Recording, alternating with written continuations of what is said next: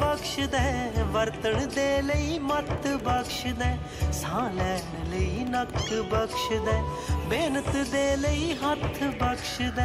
ਮਿਹਨਤ ਦੇ ਲਈ ਹੱਥ ਬਖਸ਼ਦਾ ਰੋਂਦਿਆਂ ਵਿੱਚ ਤੂੰ ਹੱਸਦਿਆਂ ਵਿੱਚ ਤੂੰ ਜੜਿਆਂ ਵਿੱਚ ਤੂੰ ਵਸਦਿਆਂ ਵਿੱਚ ਤੂੰ ਜੜਿਆਂ ਵਿੱਚ ਤੂੰ ਵਸਦਿਆਂ ਤੂੰ ਹਰ ਸਾਏ ਵਾਹਿਗੁਰੂ ਤੂੰ ਹਰ ਸਾਏ